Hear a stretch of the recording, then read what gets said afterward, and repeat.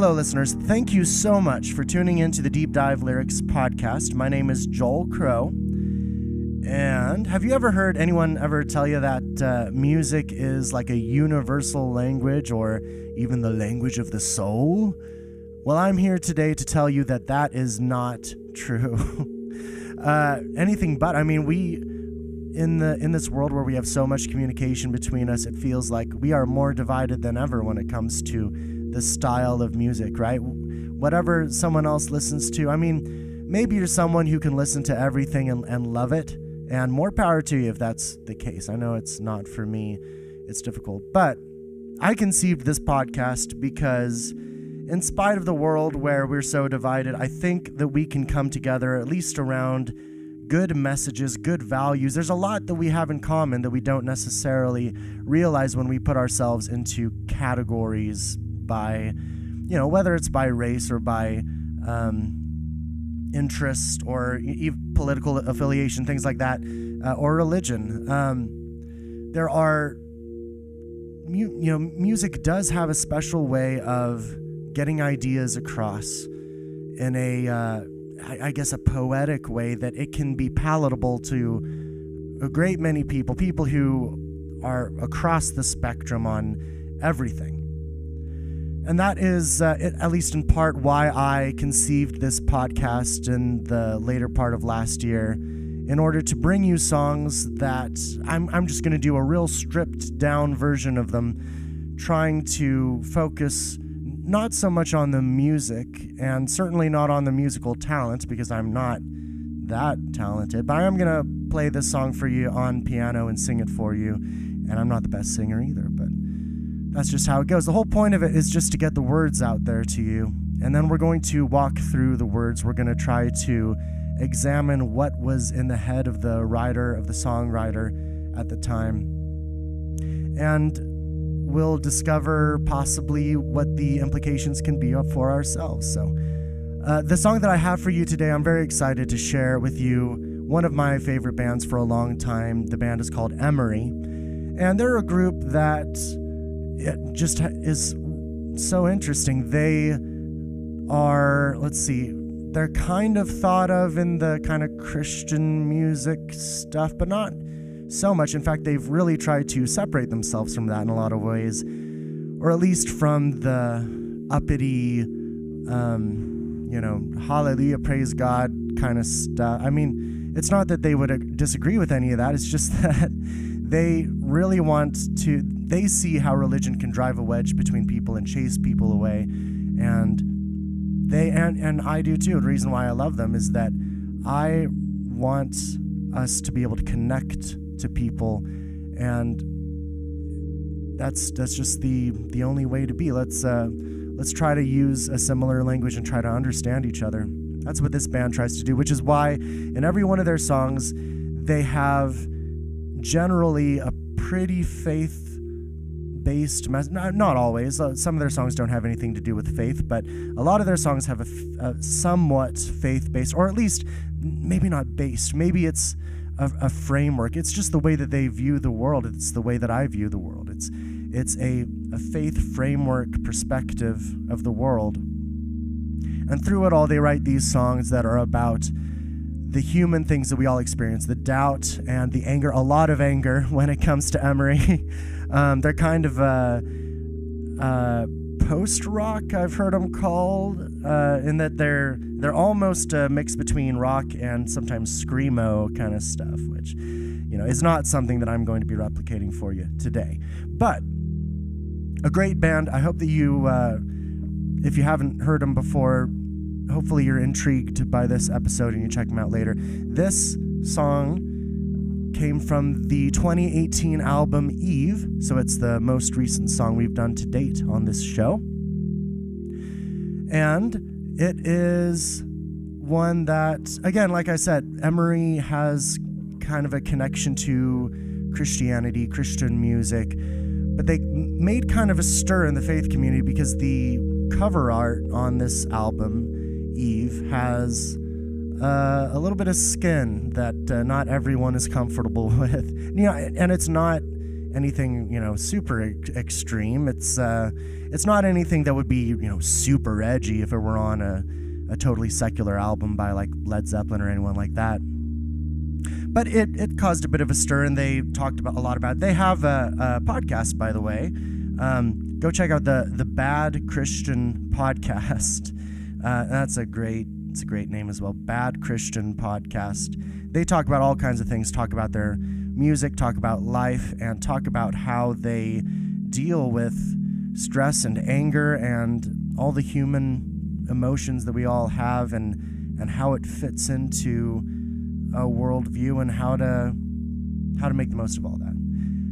Anyway, I have the a song here to share with you. It's called "Safe," and I don't know if uh, there's much more I want to preface it with. Like I said, it comes from an album which is called Eve, and that is a reference, of course, to the book of Genesis in the Bible.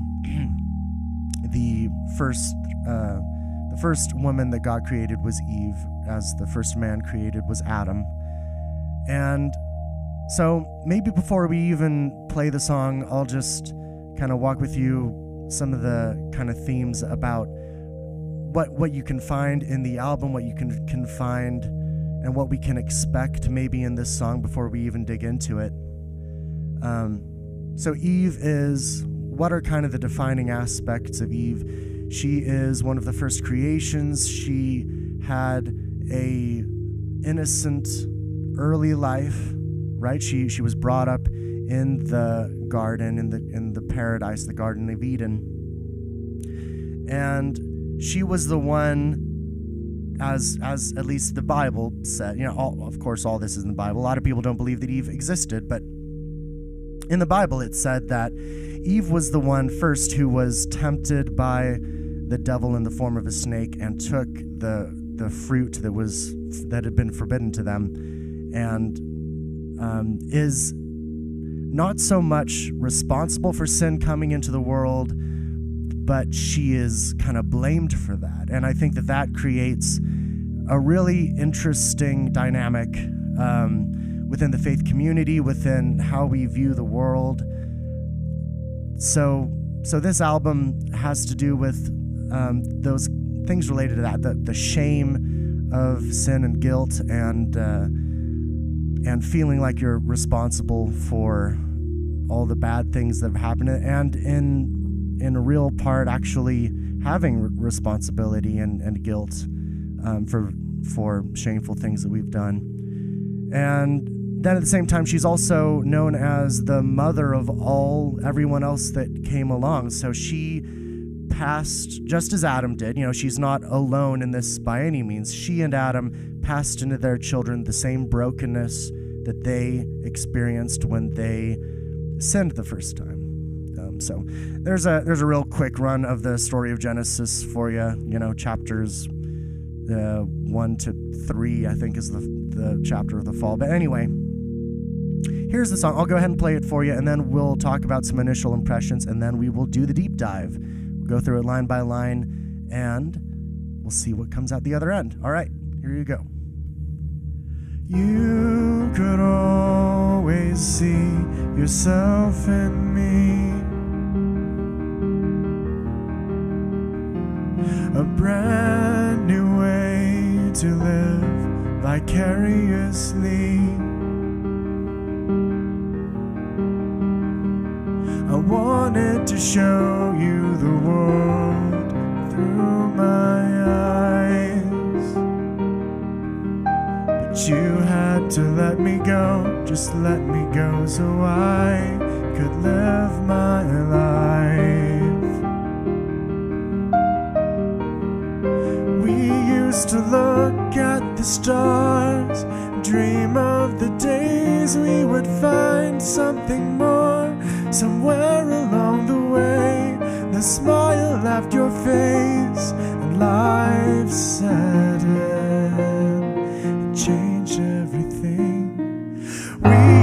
Look at the stars,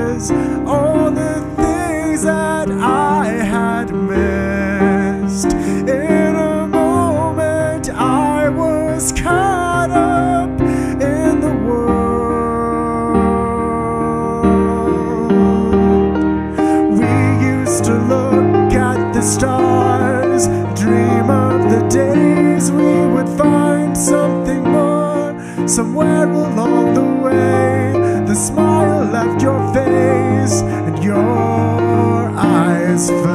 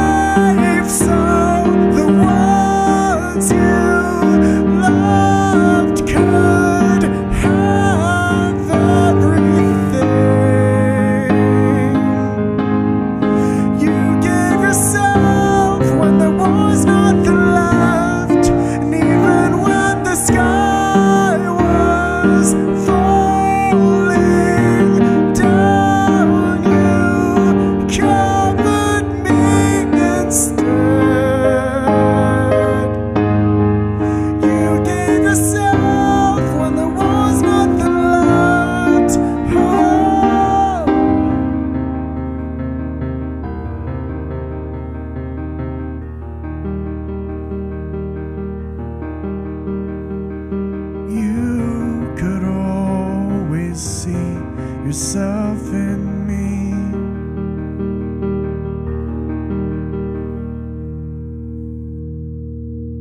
So, probably the first thing that you'll notice about this song, or at least the thing that I notice, is that it is bookended by that one line. Right? And you see this sometimes in, well, you see it a lot of times in songs. You see it sometimes in movies and in books where you get to the end of this really intense story and something happens and a light goes on in your head and you think, hey, I've seen that before. That's familiar. Where does that come from? And then you realize later on, or, or it might not be until the next time you watch the movie or the next time you read the book or the next time you listen to the song, you'll realize it came from the very start. This was something that came at the beginning, it came at the end.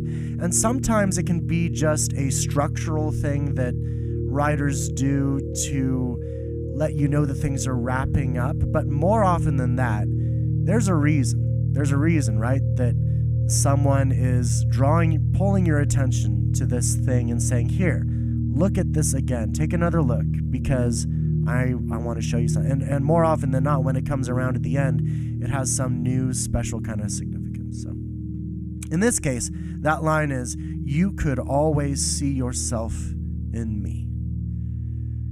And since that's the first line of the song, why don't we go ahead and go on into the deep dive? I mean, we'll we'll be asking questions as it goes along, but uh, I I think this first line has a really strong idea that just about anyone could piece out. I mean, so we're obviously talking about someone. So that the speaker of the song is either a either remembering himself as a child or could be as a student. We're, we're talking about a, rela- a relationship that is, either parent to child or at, at least mentor to student kind of thing. And I, I'd say there's much better reason to believe that it is a parent and child relationship. Not only because this comes from the album Eve, which, as we talked about, Eve was kind of the first daughter of God, so to speak, and then Eve was herself the mother of all of humanity. So you have that connection, but also just in the line itself. I mean, it's possible that you can see yourself in like a student that you're teaching if you know you're you're watching them go down the same road that you did and make the same mistakes you used to make when you were a beginner at something but even it's even stronger when we're talking about a uh, particularly a blood connection because there is there are similar facial qualities right? There's a, a, a, an actual resemblance a physical resemblance a you know they say the resemblance is uncanny right? When uh, when the child comes and uh, grows up and looks like the father or like the mother. But even as a baby you know, people are saying you know it has he has or she has your eyes and and your nose and and and as their attitude becomes prominent, you, you see, oh yeah, you kind of get that uh, burst of anger from me, or um, the sharp tongue, or you know certain qualities and attributes. So, so we're, we're talking about a uh, parent-child relationship, and uh, since the guy singing this is a song in the original version as well, uh, we'll just call it the son. We'll say that the speaker of the song is the son. and it could be could be a father or a mother that we're talking about. For the sake of argument, let's start out and we'll say that it's a mother. Actually, um, I think uh, so. I, I, watched the music video or the lyric video, I should say, for this not too long ago, and the end of it, uh, it dedicated the video to I think um, the the mothers of the songwriters. But um, so, for the sake of argument, we'll start out and when we'll say this is a relationship between a son and a mother, he says, You could always see yourself in me. And it's a brand new way to live vicariously. Vicariously, what a great uh, word. That's a vocabulary word. That's your word for the day for deep dive lyrics. Go write it on your wall and memorize the definition, and we'll have a quiz next week. No. Um, vicariously. What does it mean to live vicariously? Well, you might know, uh, but it in case you don't. It means you're kind of living secondhand. It means you're not having experiences yourself so much as you are kind of living through somebody else. So somebody else um, has a, a wonderful event happen to them, and then you get joy from that. Even though you yourself weren't involved, you yourself didn't necessarily accomplish something, but you can feel proud of the success that somebody else has. And it can also relate to very negative things, right? It can be the pain that someone is going through, the the struggle that somebody else is having, and, and if you're living vicariously through them, you experience that pain, you experience that fear, you experience that frustration that they feel. And the, in the next line, you, you know, that, that can be a negative thing uh, it can easily turn into a negative thing for a parent to want to live so much through their child that they, you know, push them into whatever their dream was, you know, whether it's to to go into sports or to be a doctor or whatever. But in this song, we we see in the next line he says, "I wanted to show you the world through my eyes." So the the child and the, son in this situation is on board with it. He's he's loving this relationship. He he loves the the security and the the hope and and just the relationship and the sharing that he gets to have with his mother in uh, in the the beautiful things that happen to him, the terrible things that happen to him, he knows that he's not alone. He's not alone in, in feeling frustration or joy or whatever it is that he's going through. And he wants he wants to be able to to be that to her, to be able to impart new life to her because uh, j- just because it's that it's that loving relationship. But there's always a but. I wanted to show you the world through my eyes, but you had to let me go. Just let me go so I could live my life. And of course, this is the very nature of being a child or of being a parent is that eventually the child grows up. Eventually, you know, you'll you'll never stop exactly being you you, won't stop being the parent necessarily, but the relationship changes, right? Because as you get older, as a child, as the son gets older, he gets his own life. He he has to. It's he becomes more independent and less reliant, and he can conceive ideas of his own. He can walk different paths than the one that uh, the parent would prefer. And uh, and he needs that freedom. It's a it's an essential human quality to need that freedom from the parent, right? So then he's he's going back, but he's so we realize that the the guy who's singing this obviously is an adult and he's thinking of himself as an adult, but he's remembering his childhood and he goes back and he's reminiscing and he says, We used to look at the stars and dream of the days we would find something more.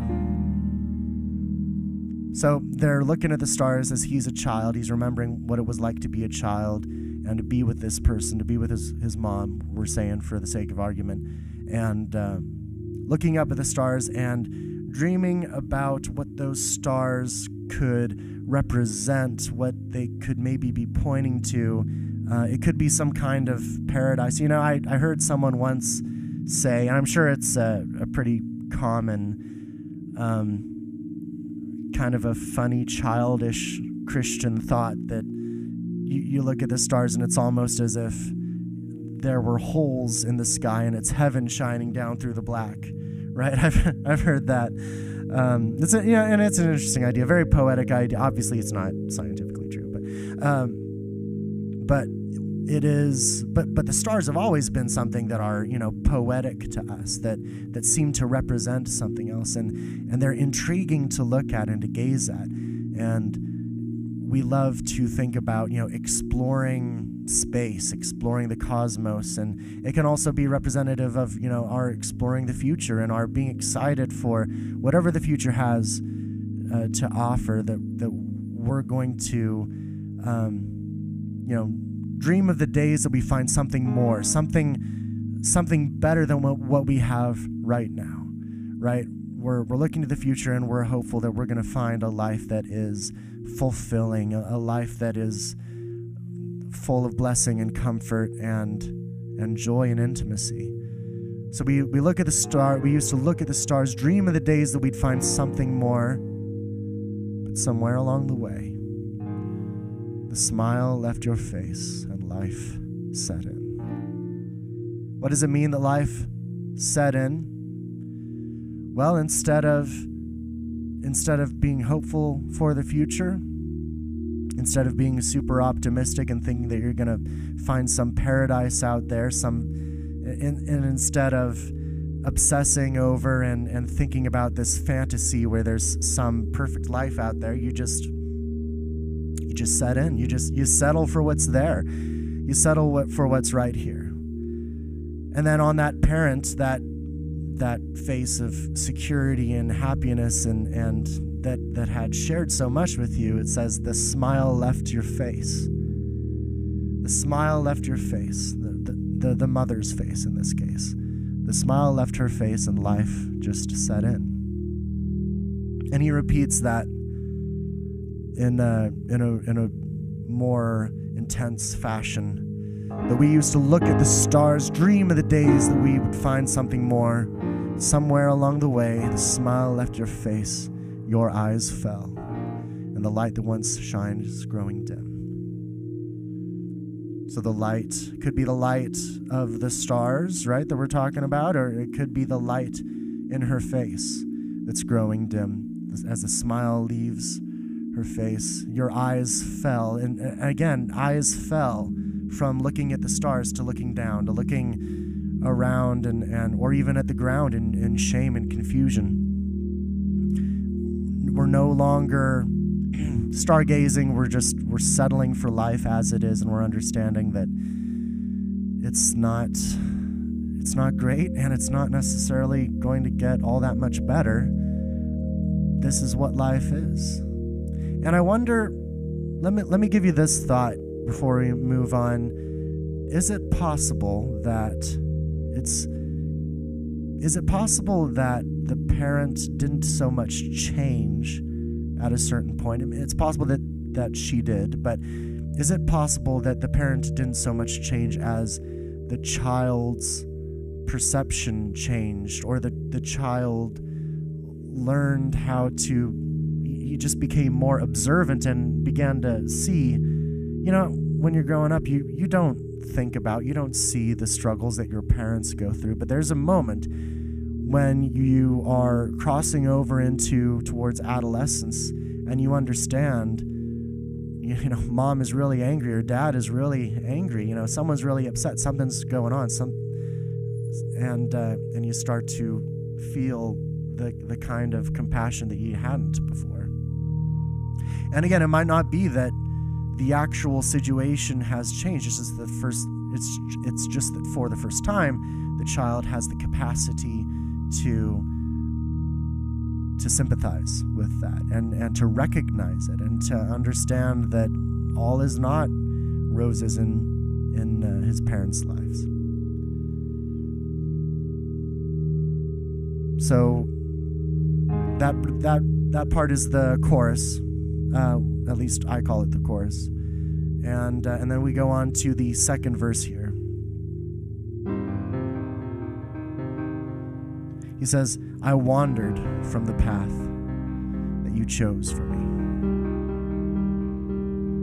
Which, again, is just the natural progression of what it means to grow out of childhood, right? But maybe even more so. Um, I think it is natural, but it's significant that he uses the word wandered. Because we certainly, as we grow older and we become more and more independent of our parents, we can get different ideas of our own. We can make different choices. We can have different values. And we do. We do have different values. We see the world a different way than our parents did. And we do things that they don't necessarily approve of. And we start maybe to approve less of things that, you know, that they have always done. And we used to just assume that it was the right way to do things.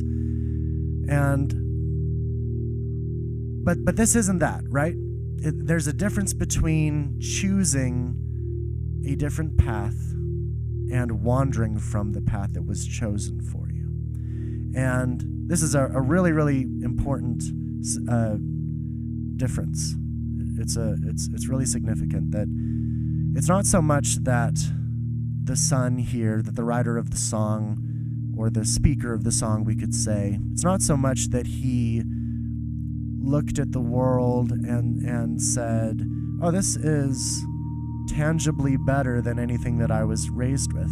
I am going to, you know, stop in my tracks and start living a different kind of life and I am really looking forward to being a part of this." It's not so much that he that he willingly gave himself to the world, it's that he wandered. It's that he was was taken from. He even says, so then the next part it says, um, I felt your hand slip away as my eyes opened to see. So again, it's the hand, he's, he's not letting go of the hand, you know, kind of the idea of, um, you know, is when, when you're a, a young child, you you hold the hand of your parents and you know you, you can get security from that but when you grow older you know you stop holding your parents hand you stop having your hand held and you start to live life on your own but it's in this case, and in many cases, and probably I'd even venture to say virtually every case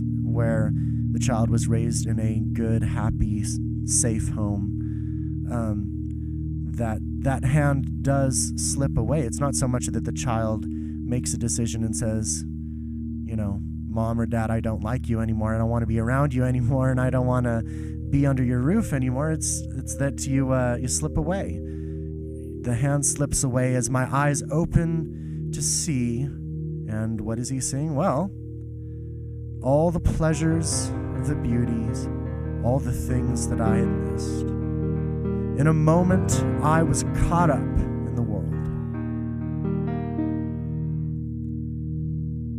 So he's going away from his sheltered, protected life of the past, and he is bewildered. He's caught off guard. He's it says he's he's caught up. So again, all of this language is totally passive. It's not that he's choosing something else. It's that he he had something that the parent that the that the mother chose for him, and then he's he's caught up by something else. You know, um, he's he's taken away. He's coaxed off into you know the pleasures of beauty things um, you know, I, it's uh, it's impossible probably to consider that idea without thinking about um, the natural uh, sexual development, right? Part of it is part of it can be and, and generally is uh, a sheltered perspective of sex versus getting out there in the world and finding that anything is available for you in the in the in the modern world, and uh, and it, it's very enticing, and it, it's not necessarily something again that you choose, but it chooses you, and it kind of takes you away. It kind of it draws you away before you even realize what's going on, and, and your hand slips away, and and that's that's generally what happens in, in the modern So he's so he's been caught up in the world and then we have the chorus again. We used to look at the stars, remembering back again to the days of being a child and stargazing with his mother. We used to look at the stars, used to dream of the days we could find something more. Somewhere along the way, a smile left your face, and your eyes fell, and it changed everything. So he's he's remembering I, I think I guess the kind of the, the thing that started the snowball rolling, the thing that um, started him down this path was realizing that his life with this with a parent with with his mother wasn't as ideal as he used to believe. As he's growing again he's acknowledging he's realizing that she has struggles that she has problems that she is not happy many many times and that life is painful and difficult, and the smile falls from your face, and it changes everything. And, and it, it forces, it doesn't force you, but it causes us to run to things, other things, to try to, to try desperately to get some kind of comfort, to try to get some kind of control, to get some kind of excitement out of life that we we used to be able to find just by stargazing, but now it doesn't work anymore. Now it now we can't we can't enjoy those dreams as much anymore when it's put up next to the the garish vices of the city, you know, for example, uh, for instance. Anyway, um, the smile left your face, your eyes fell, it changed everything. And then there's a new part to this course. He says, You, again, talking to his mother here, we're, we're supposing, you held me close in your arms, promised me you'd love me no matter what I would become.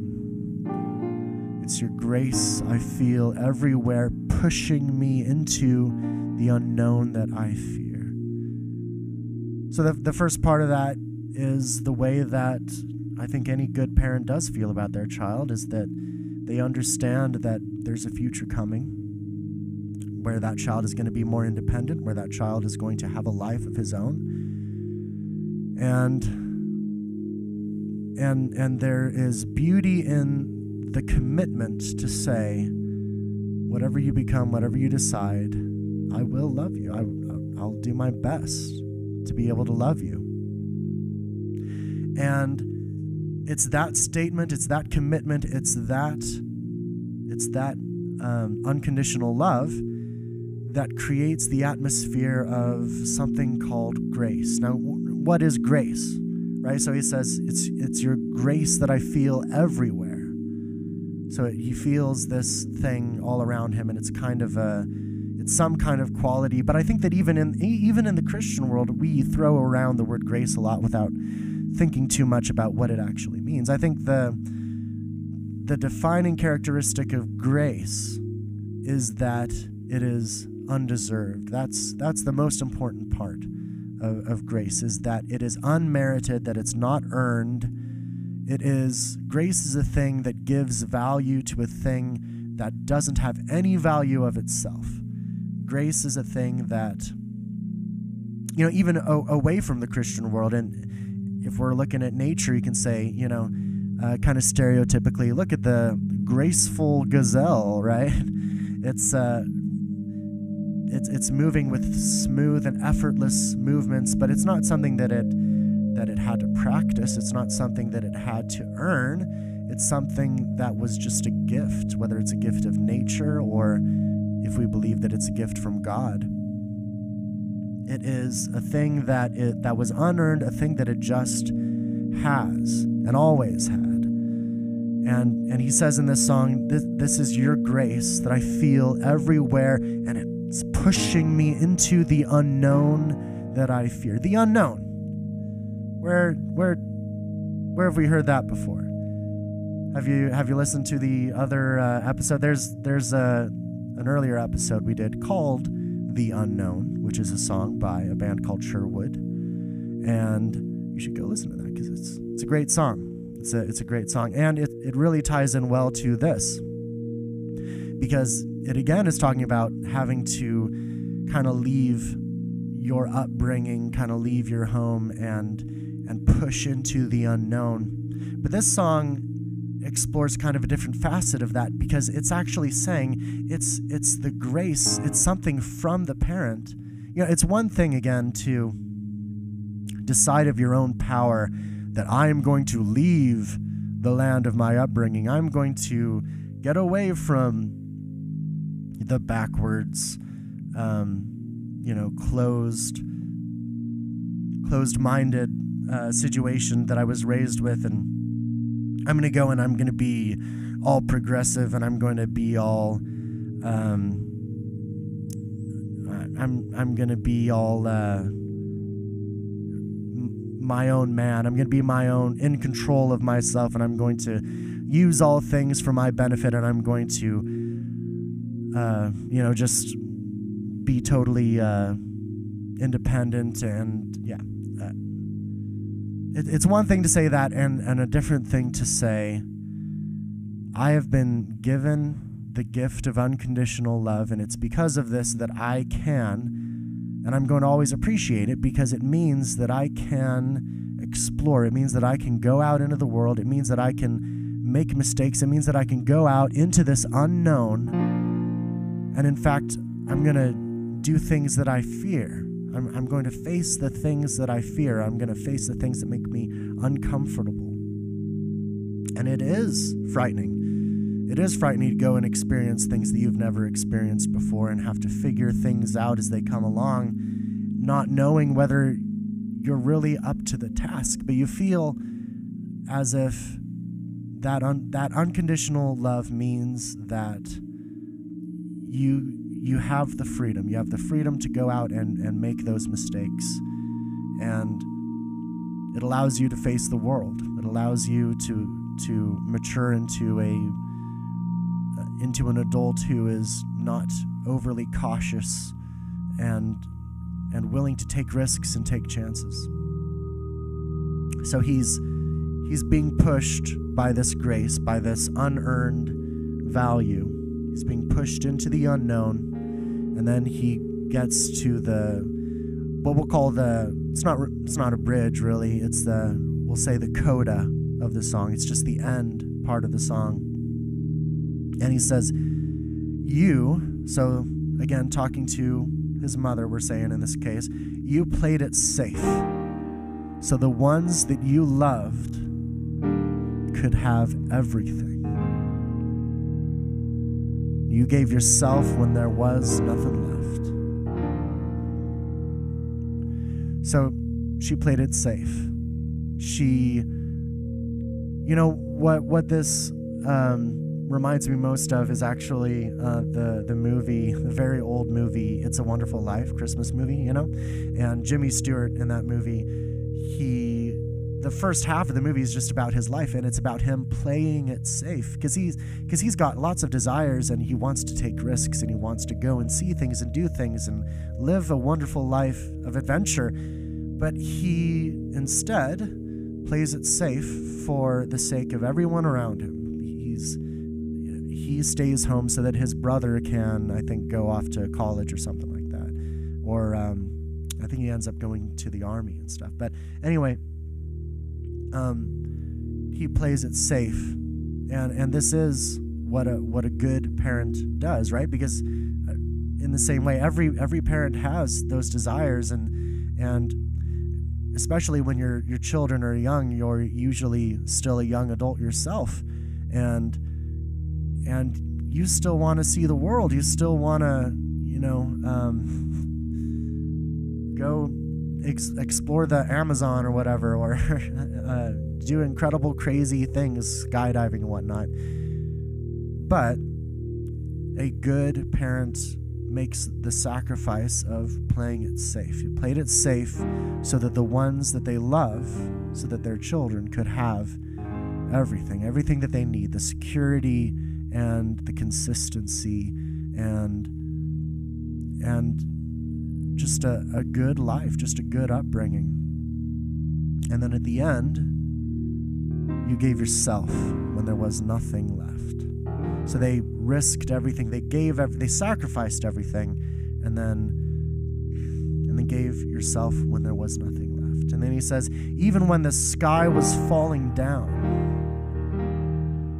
even when the sky was falling down, even when the world was ending, even when um, you could even relate this back to the chorus, and this is like this could be an allusion to when they were stargazing, right? They were they were looking at the stars, and now uh, the world has taken a turn, and those stars are falling down. It's the end of the world. This is, you know, this is all kind of figurative language, and it, it's talking about that moment that you experience, as everyone does, when your world is crashing down around you and you feel like you have no control and and and you can't take any more and all the frustration and all the pain and all the everything that you're dealing with is it, it feels like your life is over. He says even when that's happening, even when the sky is crashing down, you covered me instead.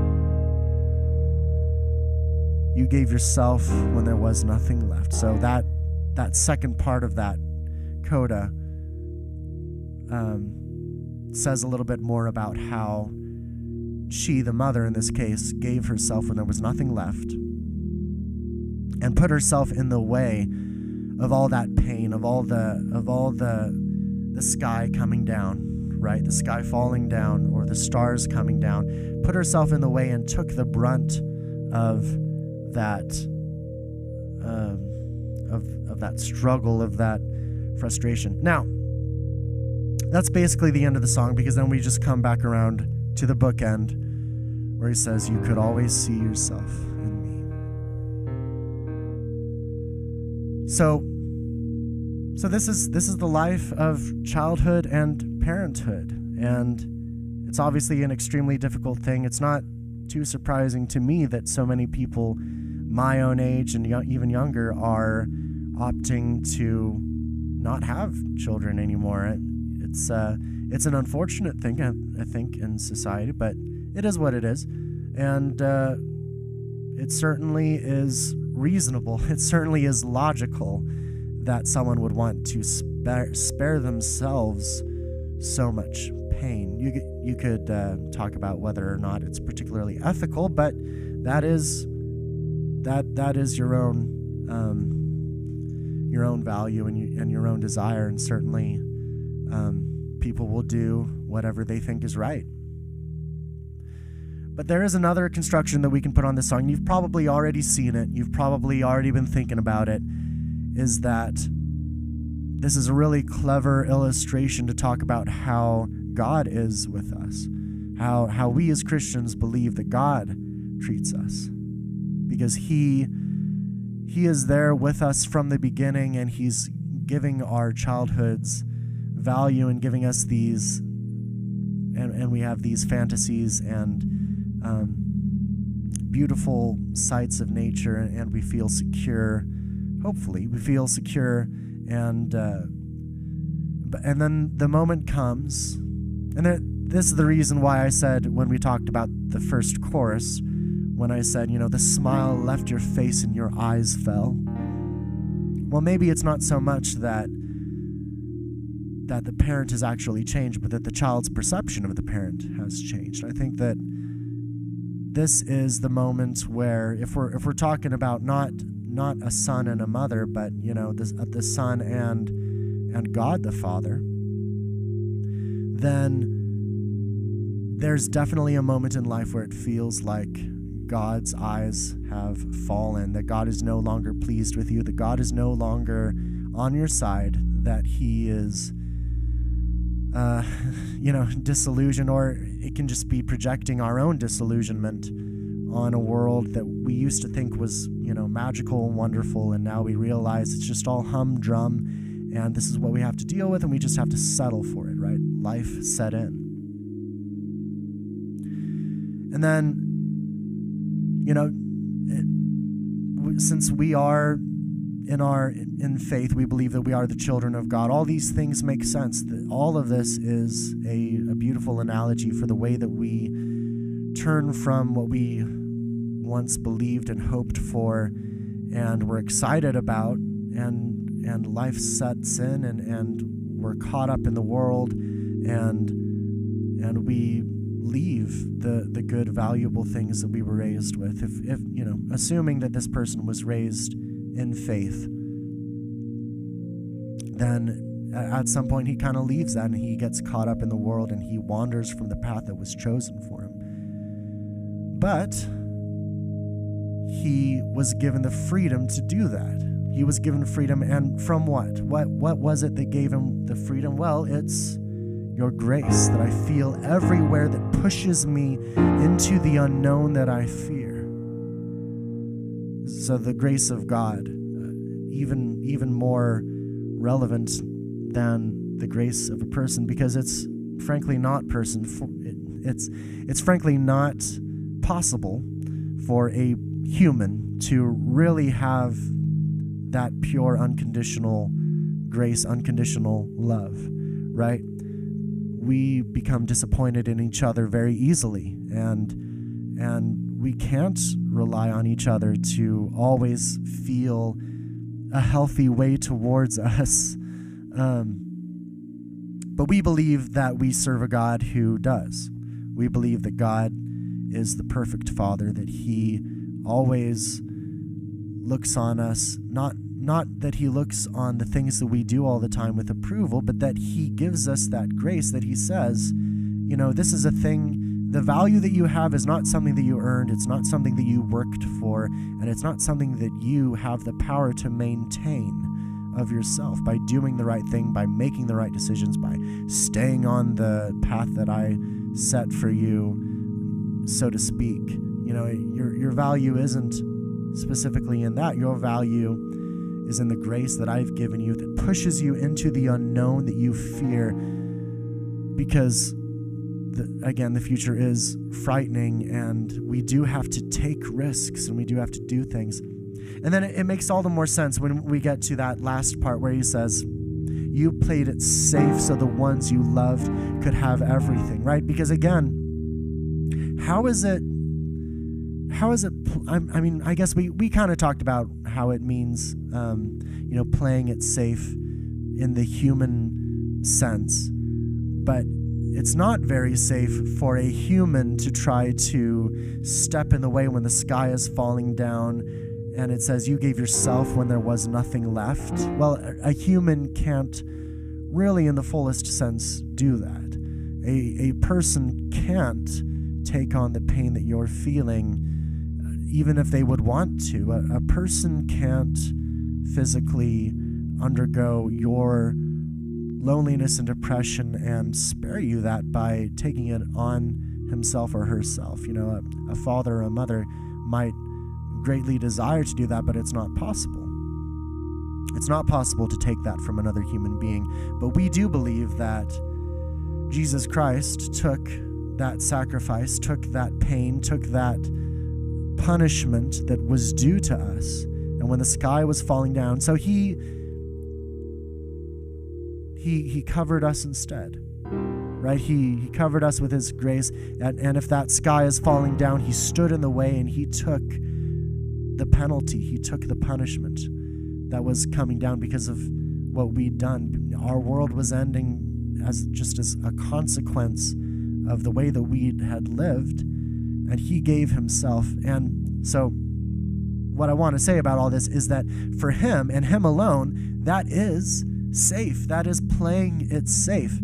And I thought about this a lot because how does the word safe make sense? And it's obviously super important because it's the name of the song. So, how do we square that in the parent child relationship? Well, it's not safe for a mother, for a literal mother, to try to take the pain away from her child. And it's not safe for a human father to do it either. It only works, it only makes sense you need someone who is competent for that. You need someone who is powerful enough to take that pain. You need someone who won't buckle under it the way that any human would. And it's only possible if you have somebody who is all powerful, somebody who is the creator of the universe, somebody who created you and values you and gave and gives you this grace and and doesn't force you to earn it every day, but but gives it to you because it is grace and because it is unearned and it's just a gift. And then when the sky is falling down and when you throw it all away and you you wander off the path and you go into the world and you're caught up and then even after you've thrown all that away, he he covers you instead. You covered me instead of letting the world of letting the sky fall down on me. You covered me instead and you let the sky fall on you. And that is a poetic description of what we believe happened at the cross for Jesus Christ. That he, again, just he took the punishment that was due to us because of what we'd done and how we've lived. He gave himself when there was nothing, literally nothing left, nothing else that would suffice, nothing else that could take that pain. All right. And then, of course, it ends with a bookend You could always see yourself in me.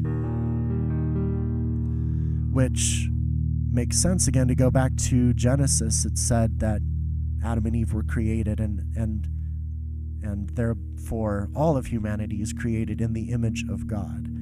That we are all that just as a a blood son resembles his blood father, we resemble God in a but not in a blood way. I, I don't think that that makes any real kind of sense. We resemble him in our spiritual reality. That's a complicated idea that I'm not going to unfold all the way, but it's something to ponder over.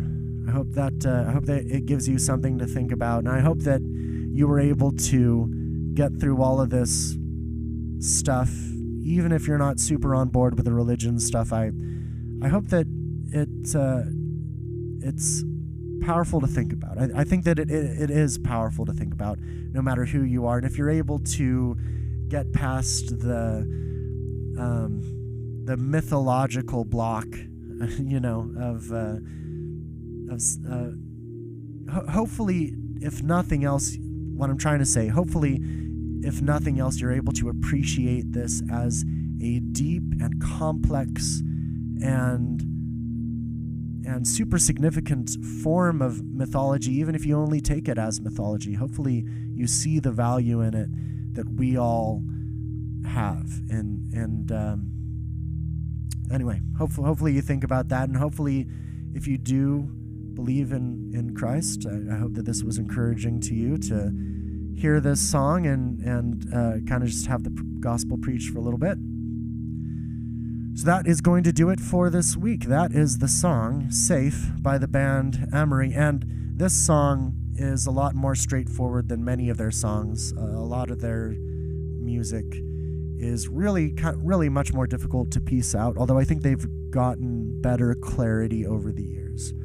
Um, but they've also gone down more radical roads over the years. So you know, on on this album, on the Eve album, they have a song that's called. Um, a lot of people ask me that the song is called. A lot of people ask me if we're going to cuss in an Emery song, which is a great name. Uh, and uh, as far as whether or not they actually do in that song, I will uh, not spoil it for you, in case you know, not that it matters, but. Um, so there you have it that is the song. Again, make sure you write me if you have any complaints, if you have any arguments, if you have any song suggestions. I would love to get song suggestions.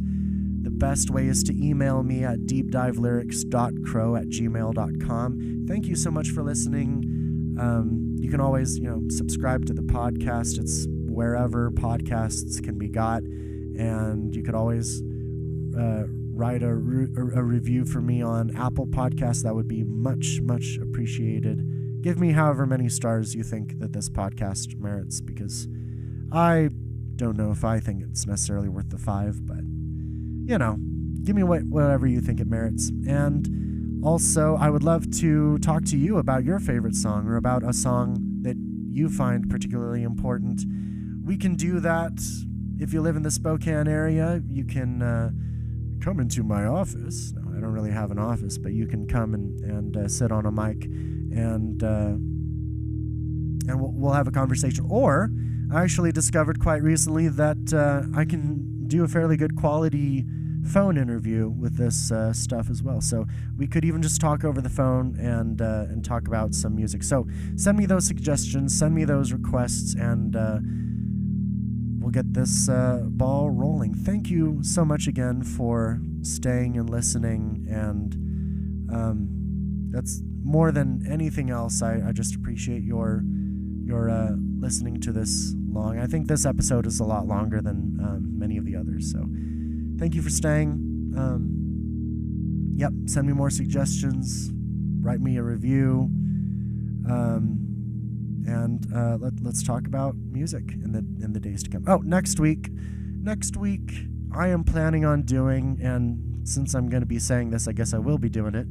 Um, I haven't really done anything in the in in popular culture from today. I've done some popular songs from the past, but I would like to start getting into things that more people are into right now, and there's not a whole lot on the radio that would necessarily stand up under this kind of criticism and analysis. But I found a song that I am excited to share with you. It's not super recently done, but it is still playing on the radio all the time, and that is a song called Believer by Imagine Dragons. So look forward to that. I will uh, I'll be giving that song lots of listens and working out how to how to do my own stripped down version of it. And then we'll be uh, we'll be discussing that next week, and that will be a lot of fun. All right. Thank you one last time. Go and have a great, wonderful day, and I'll talk to you again next week. Thank you.